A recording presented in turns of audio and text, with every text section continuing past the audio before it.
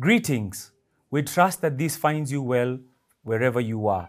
This is an official statement from Jubilee Christian Church, together with the family of Bishop Allan and Reverend Kathy Kiuna. It is with heartfelt condolences that today we announce our beloved Bishop Allan Kiuna has gone to be with the Lord. Bishop Allan Kiuna, the general overseer and founder of Jubilee Christian Church, was an extraordinary man who touched the lives of many and had a great passion for ministering not just locally but globally. His unwavering faith, compassion, and dedication to the church and community have left an indelible mark on all who knew him.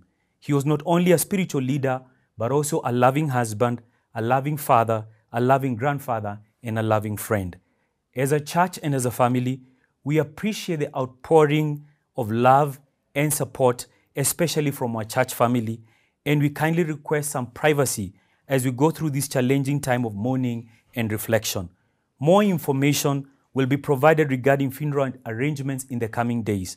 We are organizing services to honor Bishop Allan Kiuna's memory and legacy. And for that purpose, from Wednesday, the 10th of July, to Friday, the 12th of July this year, evening services will be held at JCC Parklands from 5 p.m. to 7.30 p.m. And on Saturday, the 13th of July, we shall have another service which will be held from 2 p.m. to 5 p.m. Then on Sunday, the 14th of July, a special worship service will take place starting at 9 a.m. And so today, we welcome you to join us in praying for the family and church at large. With humility, we kindly ask for privacy during this time of mourning.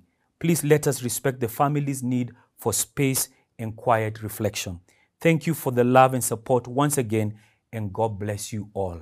Regards from the Jubilee Christian Church fraternity and from the family of Bishop Allan and Reverend Kathy Kiuna. God bless you.